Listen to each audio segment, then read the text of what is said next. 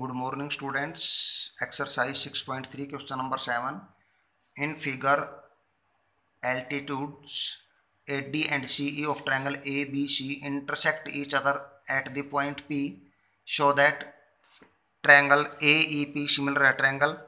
CDP, second part triangle ABD similar at triangle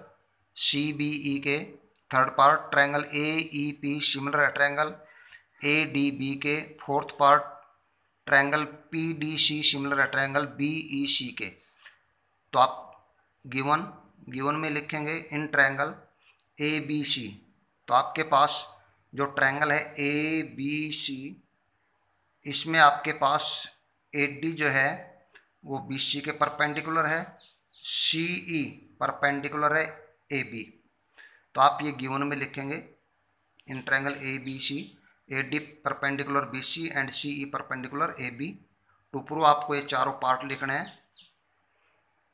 proof first part के लिए जो आपको सिमिलर प्रूव करनी है वो ले लेते हैं ट्रायंगल्स तो in triangles A E P and triangle C D P ये दोनों ट्रायंगल ले लिया आपने इनमें क्या क्या है आपके पास एक तो आपने ट्रायंगल ली थी ए ई पी और दूसरी ट्रायंगल आपने सी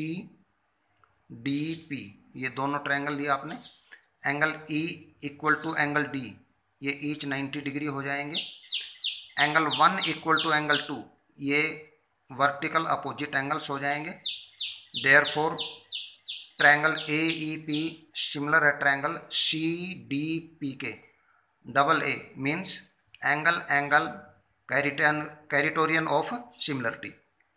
इसी प्रकार सेकंड पार्ट और थर्ड पार्ट करेंगे आप तो सेकंड पार्ट में जो ट्रायंगल सिमिलर करनी है वो लेते हैं तो in triangle A B D पहले आप लेंगे A B D and triangle C B E ये दो ट्रायंगल ले लेते हैं आप तो इसमें आपके पास angle D equal to angle E ये ईच 90 डिग्री हो जाएंगे एंगल बी आपके पास दोनों में है कॉमन हो गया तो angle B equal to angle B common हो गया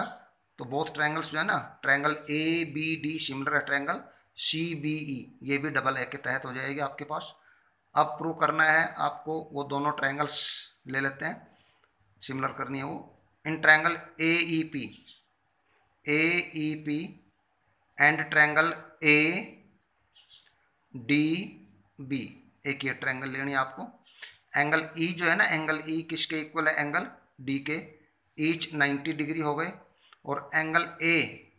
दोनों में है तो angle A equal to angle A common हो गया